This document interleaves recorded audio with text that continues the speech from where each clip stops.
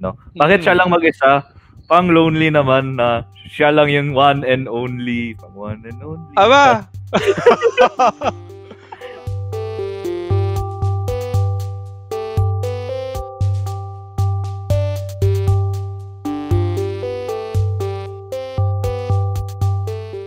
Hello everyone. Hello, hello. Kamusta, Sir Renzi? So, Yeah, welcome to kamusta? another episode here Oo, at so West kung- RT. Yeah, so hello sa mga ka-Arky natin at sa mga patuloy na tumatangkilik and subscribing to our channel. Thank you very much. We're now at 38,000 plus plus subscribers. Road to 50k. So, after siguro Yeah. ng itong video, 50k na, Charles. Ah.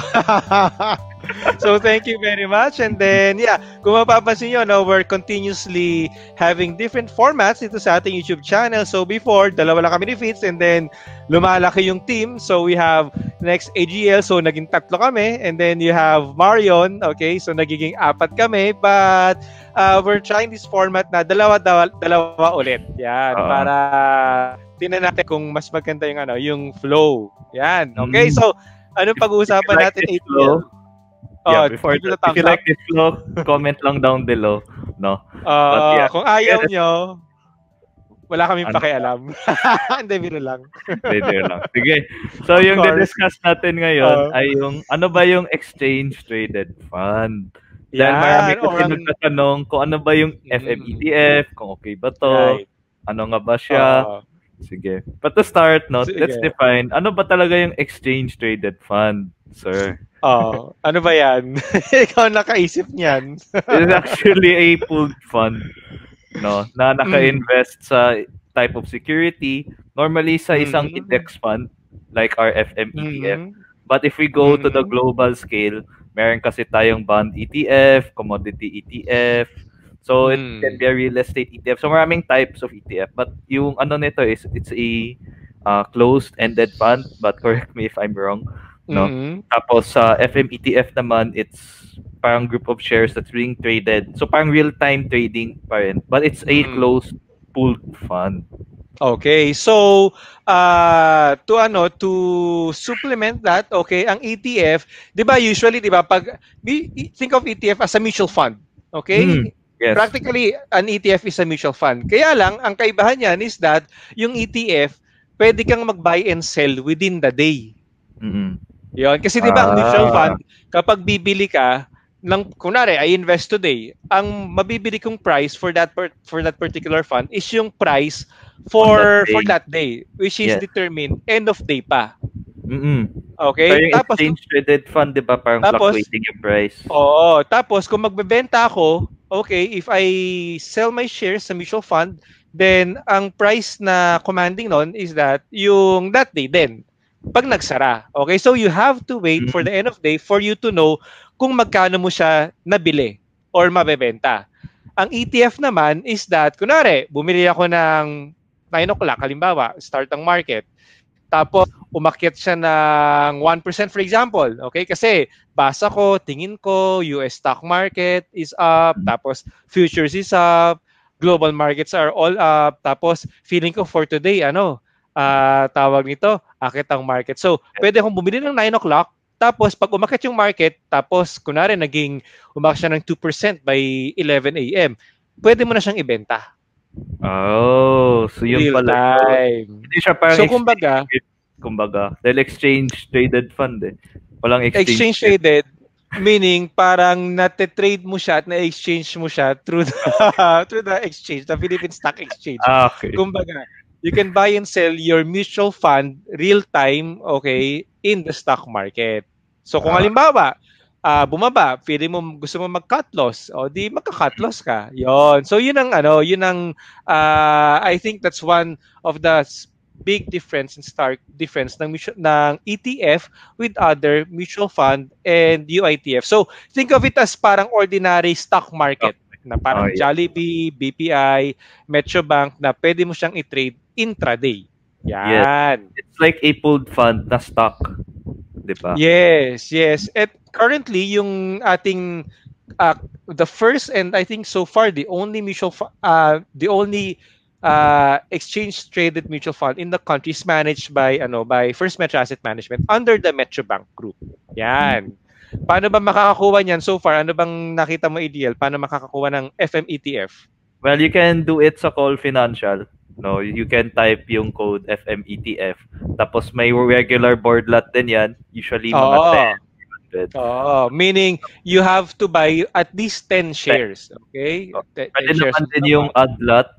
No, pero expect Mm. baka iba yung price. But better na ganun board lot. Yung other options is directly sa FAMI. No, or Oo, directly sa or- FAMI, sa First or- Metro Asset Management. Yes. Or kung may broker na kayo sa First Metrosec, pwede din doon. Dahil sila Mm. naman yung partners at nagmamanage din doon. Pero paano ba yung Yes, entry yes. fee nun? Kapag let's say First Metrosec or sa FAMI, magkaiba ba or same lang ba? Ang alam ko, walang entry fee ang ano, ang ETF as far as I know ah. Wala? Mm. Kahit alam mag ko wala siyang ano. Ah, no, sorry. Nakalagay dito may entry fee na 0.3%. oh, lit lang. Mm. Mas mababa pa sa let's say index fund or Oh, 0.3% lang. Tapos ang Equity fund. management fee niya is uh, so far sa nakikita ko it's 0.50%. Pero alam ko pag dumiretso ka sa First Metro Asset sa FAMI, wala nang entry fee. So mas makakatipid ka. Mm. Pero Yun. so kalaban ng Mm. malaking capital. Marami din kasi nagtatanong kung kailangan bang 10,000, 20k mm-mm. to invest, let's say directly mismo Ah. sa or sa yeah, ano. so with brokers, uh yeah, with brokers, alam ko kailangan mo lang is ano, at least 10 10 ano, 10 lots, okay, or 10 shares. So mga at the latest price na 89 pesos, parang less than 1,890 pesos, pwede ka na mag-invest. Pag sa FAMI naman kasi, since it caters more for ano, for more savvy investors uh, na nag-handle for their ETF, okay? So I think ang minimum dun is 1 million pesos. oh wow. Pero So, wala parang- ka ng pero wala ka na entry fee for that. Hmm, parang naka-discount.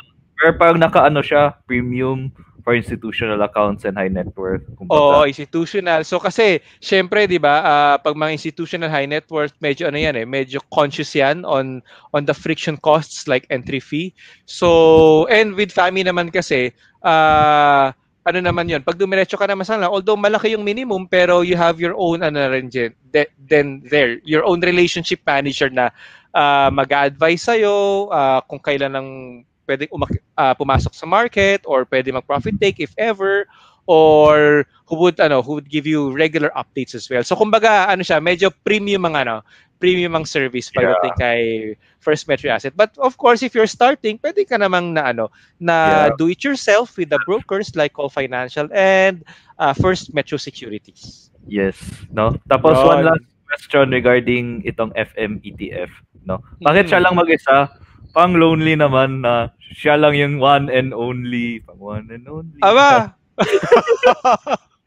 Bakit siya yung one and lonely? Lonely. Eh, well, right. So it's really a market ano no, it's really a market uh ano ba tawag doon? Pat uh, trailblazer or or whatever. Okay? Pero I'm sure with the ano with the evolution of our market, I'm I'm sure na we'll be looking at more ETFs down the road. Okay? Pero suffice it is to say na sa mga tao and for you people investor who would want to you know if you feel savvy if you feel that you can you know you can trade the, the stock market the index intraday if you have that time to to do that trading as well the index ayaw mo na kasi again no meron ding sinatawag na mga index fund na mutual fund na tinatrack din ng index right? Like First Metro uh, exchange traded fund. Kaya lang again end of day pricing yun. Ito if you really want to do active trading sa index if you have that time okay. If you have the ano ba the expertise ganyan and then the patience to trade the index then definitely the first metro ETF is for you Yeah. And of course, for long-term investors na may 8 or more years na time horizon, then you can Mhm. look into this simply because it's actually a bit better than the index fund. Oo, No. kasi mas maliit ang management fee Yeah, mas maliit yung management fee and it's actually one of the benchmarks ng PSEI. Kumbaga, Right. So again, no? mm, maliit again, kapag ka, mas maliit ang management fee natin, then remember, no, kapag malaki yung fee na china-charge sa atin ng isang fund, then kumbaga it's money away from you. But mm-hmm. since FMETF has the lowest management fee among practically index tracking funds, so it's more money for you at the end of the day. So kumbaga, uh, you get uh, to maximize your investment. Yun. So I guess we've said a lot of things now regarding yes.